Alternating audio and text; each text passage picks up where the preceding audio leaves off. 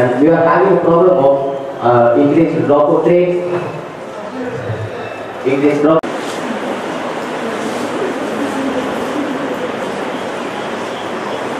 global citizen, someone who takes an active role in their community and work with others to make our planet. Now, moving on with the advantages of the education institutions in the US.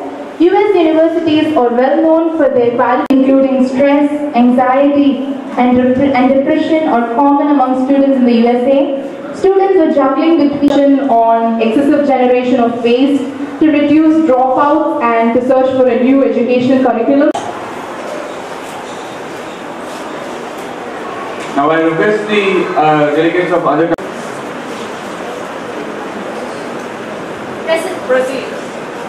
Now, uh, how many people vote for the Canada's solution, which is mainly focused on mental health, reducing the homework and other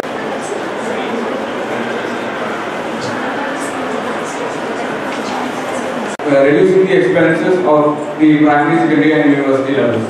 Reducing the expenses, reducing the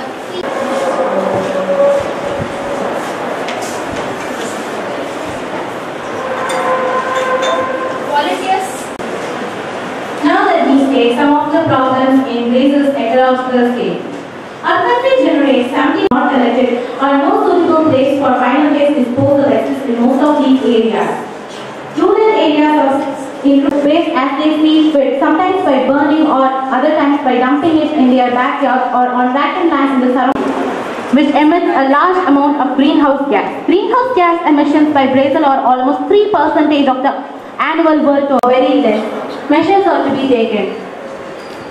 Good morning to all. I'm coming for problems with students' duties for nation and the world. The major problems with students due to despite Brazil having one of the largest economies in Latin America, the education system has been consistently underfunded and lacks resources for students to access quality education, educational attainment and poor educational outcomes.